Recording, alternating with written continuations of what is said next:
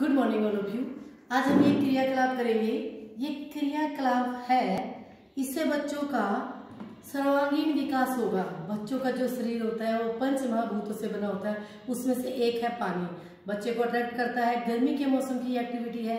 ये लॉकडाउन के कारण हमें घर में भेजनी पड़ रही है तो आपसे मैं अनुरोध करूँगी कि इसको ज़रूर करवाएँ और इसको हल्के में ना लें। दो बोतल नहीं, एक बोतल खाली और एक में पानी। तो इसमें हम बच्चे से बोलेंगे कि वो बोतल से दूसरी बोतल में पानी डालें। इससे क्या होगा?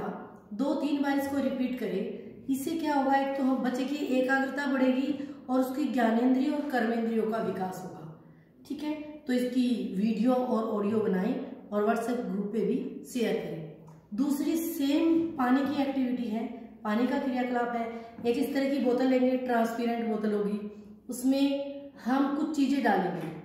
कुछ चीज़ें डालेंगे, कुछ चीज़ें बच्चा नोट करेगा, कुछ चीज़ें पानी में डूब जाएँगी। वो भी डूब गई, ये भी डूब गई, कुछ चीज़ें पानी में तैर जाएँगी।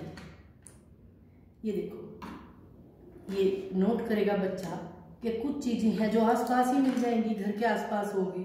जैसे शोपनर होगा, कोई पत्थर का टुकड़ा होगा। ये ऐसे ये ऐसे। छोटी मोटी चीज़ें हमारे घर के आसपास होंगी तो वो हम पानी में डालेंगे। कुछ लक्कड़ होगा, कुछ प्लास्टिक होगा, कुछ रबर होगा तो कुछ डुबाने से भी नहीं डूबेंगी और कुछ अपने आप से डूब जाएँगी। ये देखो मैंने ग्रेप्स डाला, वो भी डूब गया। कुछ कागज़ की टुकड़ी डालेंगे ऐसे।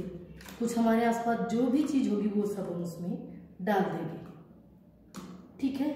तो इससे बच्चा क्या देखेगा कि कुछ चीज़ें डूबाने से भी नहीं डूबेगी, वापस आ जाएगी और कुछ डूब जाएगी। जो हल्की चीज़ें होंगी, वो डूब जाएगी और जो भारी चीज़ें होंगी, वो तैरेंगी ऐसा करने से बच्चे को जो ज्ञान होगा, खुशी की अनुभूति होगी, आनंद की अनुभूति होगी और इससे वो ये सीख लेगा कि हल्की चीज़ें हैं, वो तैरती हैं और भारी चीज़ें हैं जो वो डूब जाती हैं। इसे डूबना और तैरने का भी उसको जो बोध है, वो क्लियर हो जाएगा। तो ये एक्टिविटीज़ ज़रूर करवाएँ और बच्चों को खेल खेल में इस तरह को सीखने के लिए प्रेरित करें। बर्डन ना माने, बोतल से बोतल में पानी डालना और बोतल में सामान डालना, डूबना, तैरना, ये ज़रूर करवाएँ और व्हाट्सएप पे वीडियो शेयर करें ऑडियो शेयर करें। धन्यवाद। जय हिंद।